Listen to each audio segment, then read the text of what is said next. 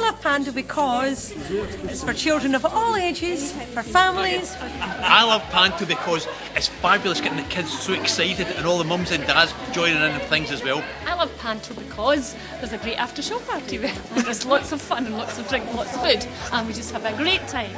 I love Panto because it's all about Christmas. I love Panto because I can act like an idiot on the stage and nobody cares.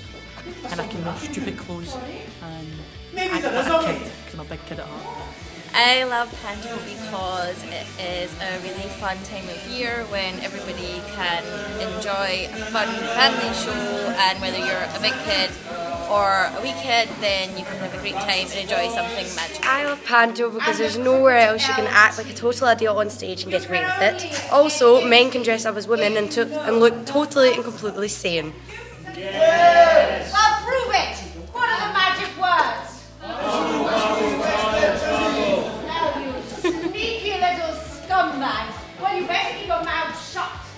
Because mine I love Panto because I get to be evil.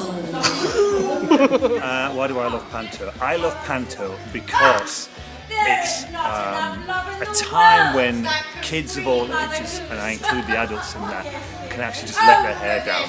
I mean, obviously, let their hair down clearly, but it's, a, it's, it's a form of, of, of play that, that people just go along to and they love, and they can shout, and they can scream, and they can boo the baddie, and they can shout, he's behind you, and they can shout, oh no it isn't, oh yes it is, and there's sweetie throwing, and there's songs, and there's fireworks, and it all ends happily, and it's just a great night out for everybody, and it's great for us to do as well, we just have so much fun doing it.